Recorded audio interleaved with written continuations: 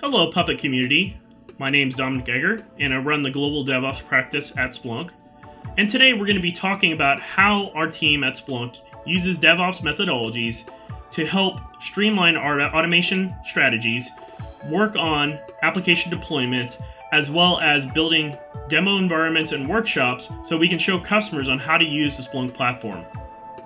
So let's talk about how our teams are actually using DevOps methodologies and automation to ultimately help us succeed in how do we actually deploy apps, provide demo environments, as well as build workshops. And by doing this, let me go ahead and go through each one of the stages that our team has really focused on and how we actually take a data-driven approach to make decisions based on the information we're collecting.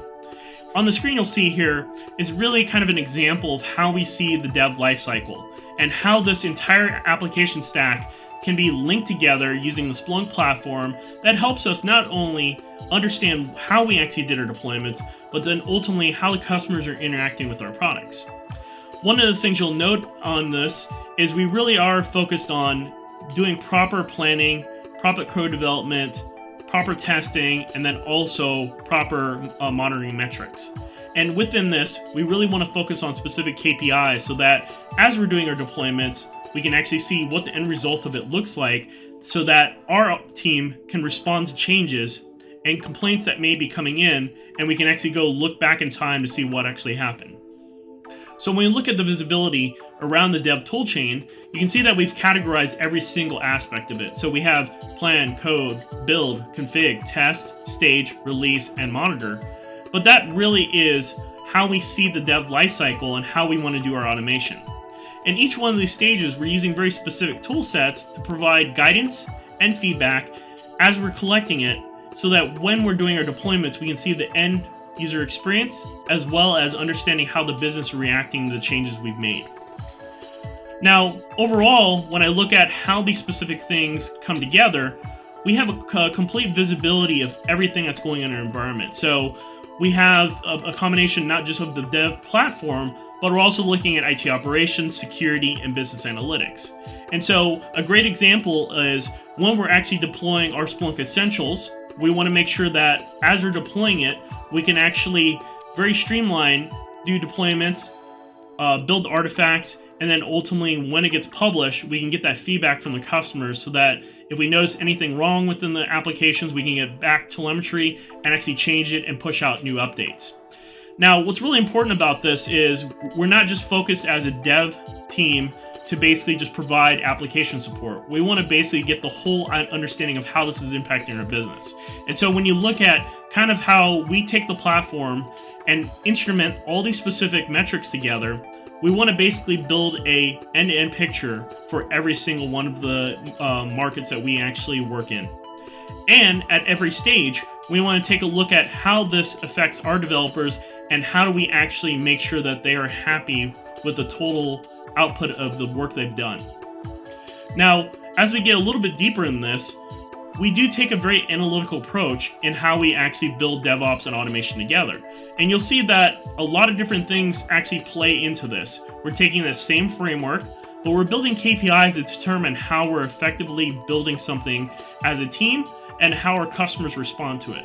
So what's really important when you think about it, we want to basically understand how long it takes us to deliver an application, the processing time as we build applications or demo or workshops, the, the speed of the build, uh, remediation time from the time something is reported as broken to the time we can fix it, and then ultimately, how does it affect our bottom line revenue? Um, so, based on the metrics that we collect, we can see that if customers actually using it, not using it, and then ultimately helping us build additional use cases out of it. Now, when we think about the business impact of it is, it's really kind of stringing all the different business units together. So we're taking a look at the total amount of changes within our environment by automating all these different stages. So let's go and look at the business operations, for example. You'll see that business operations cares about the ability to deliver, process the time of the actual work that's being done, uh, remediation of bugs that we've actually introduced in environment, and how to respond to customer requests, uptime availability, We want to make sure that the application is usable at any given. And then also, what customer satisfaction is uh, uh, related to this so that we can actually provide better use cases and provide a way of customers to see how we actually use our platform. Now, as we get a little bit deeper into this, we also kind of streamline how developers actually want to use these data points and helping them understand how this is all stitched together. So you'll see right here that as developers, we're really concerned about the number of um, code commits that we've done, how many different uh, release intervals do we have to go through in specific sprint, what does our code quality look like from a period to period perspective? And then also, are we using a lot of resources for, on the customer side? And is it comparable to when customers deploy in their environments? The next thing to look at is we want to make sure that our security teams are aware of what we've done. So we've actually documented what we've actually fixed in our environment, provided in the commit logs, so that they can easily go into those dashboards and take a look at the unplanned work that we potentially had to do and if it actually impacted the security score of that environment. They want to take a look at the code volume changes, how many lines of code did we add in the specific release, and does it relate to anything that we've pulled from open source packages, or is it something we built internally? How many times do we have to manually build it? Was this something that we had to uh, focus a lot of time and energy into? And is this something they may need to look at to see if we've actually made any changes that may, may or not be secure or not? And then also, as we get a little bit deeper into this, and we do find vulnerabilities and patch them, did we provide the uh, appropriate remediation time? How did that actual uh, access rate of that application work? And then ultimately, what was our response time to that specific environment? Now, the next thing, uh, as we kind of look at this, is looking at how operations plays in the fact of this. Because we have to utilize resources, we want to make sure that we can share those same details that we just showed with security and provide the same metrics so that they can make a determination if this is ready to deploy into an active customer environment. Now, this is very pertinent when we build workshops and demos because it provides a way for our customers to not only see how we built these demos, but also to provide what they can actually do within their own existing environments. And so that is a total piece of how our team looks at everything that's going on. And because we share all these different uh, markets together, we want to make sure that every single person that works on this team, even if they're indirectly involved, we can actually share the details and provide a data-driven approach to show that because we did, did certain things in a certain way, that we provided a way to look at how the specific code release or the specific workshop has gone and so that they can learn from our mistakes so that they can educate the field or educate other engineering groups and actually implement those changes within their environments. And so ultimately, we're trying to build better code quality. We're looking at how to actually accelerate root cause analysis. We want to build proactive monitoring into the way that we deploy things. Um, we want to actually provide uh, easy ways of deploying this within a cloud environment and troubleshooting based on that. And then also getting that end user experience uh, so that we can actually bring everything together.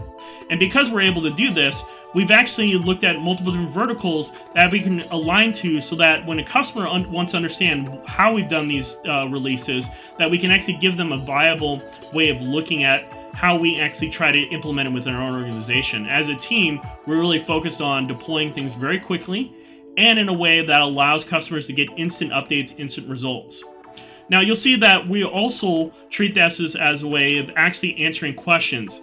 And as a company, we want to basically provide insight into everything we do. So not only are we providing ways of deploying this application for a DevOps toolchain or container monitoring or even security, we're also looking at how these specific groups can work together. So you'll see that we can actually focus on IT operations, application performance analytics, security and compliance, business analytics, and even IoT. And as we build more use cases around this, we really focus on how to bring this all together so that we get a better outcome specifically in these environments. Now, when we think about the outcome of all these specific things, like you said, we've improved the speed of deployments, we've looked at the quality impact of these specific environments, but how does that ultimately help us uh, improve our actual development experience? One of the things we've gotten out of this by taking a data-driven approach, we're able to accelerate how we deliver our software. And so it's really important when we're actually trying to make on-demand changes for uh, customers that want to see specific environments, um, as well as building workshops around that so we can teach them how to do it. But ultimately, we want to accelerate so that we're not wasting our time reinventing Tool every single time when a new request comes in. we ultimately want to improve the application qualities of this environment. So as we're actually deploying this, we want to see what does the end result look like if we have a failure with the environment. We're going to get proactive monitoring as it's being deployed. And if a customer or even a field uh, representative of Splunk is using these demo environments or applications, we can actually get instant telemetry back so that we can see what we need to fix and push it out very quickly. And then when we think about how we actually look at it, how it actually affects our business, we want to take a look at a continuous improvement model. So we want to take the telemetry that we've taken a look at of how long we deployed something and has it affected how our customers actually use our integrations or our demos. And ultimately, how does that come together so that we have a positive experience and we can answer questions when the uh, situations come up.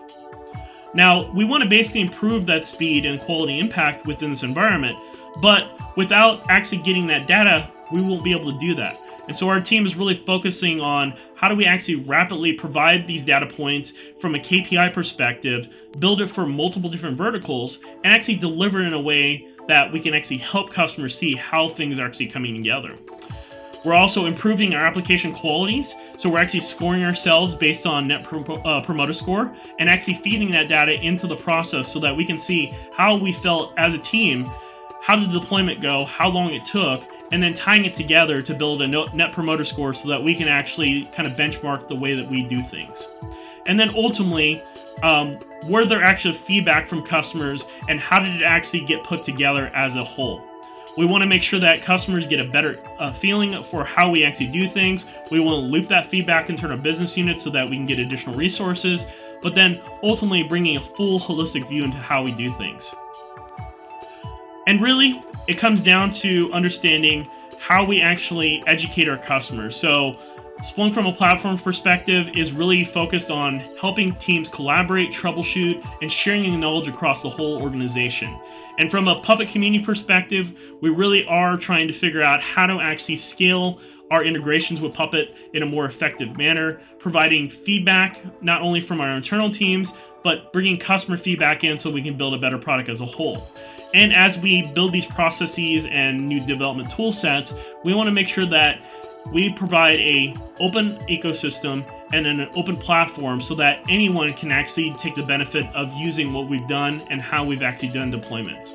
And ultimately, we want to basically be agnostic across any platform. So regardless of what technology stack you use, that you can actually get real-time insight into this without actually having to focus too much time and energy in rebuilding the process. And ultimately, you know, if you're looking for something else within the environment, we're also looking into how we actually build better service intelligence. So moving into an IT service intelligence platform, um, providing uh, KPIs and service scores so that we can actually see the health of an application as we're deploying it. We're building more collaboration troubleshooting techniques. We're building uh, new use cases so that customers can take a look at how we bring these things together. We're building another aspect of ChatOps integrations using our VictorOps uh, platform and actually helping customers communicate better. We want to show you how to do application telemetry using our mobile intelligence platform and bringing all those specific metrics into your hands so that you can see what's going on and how it's being how your application is being used. And ultimately, we want to help you build a security posture and secure development platform so that you can actually deliver intelligence within your DevOps toolchain and provide that feedback to the whole business so that they can actually get a better understanding of what's going on in your environment. And ultimately, we want to help you build better teams. And as we're actually deploying a new mechanism, a new strategy, we want to help you learn how to do that so you don't have to go through the growing pains like we did. Thank you, Puppet community, for uh, listening to this lightning talk, and I hope that you enjoyed it as much as I enjoyed recording it. Thank you very much.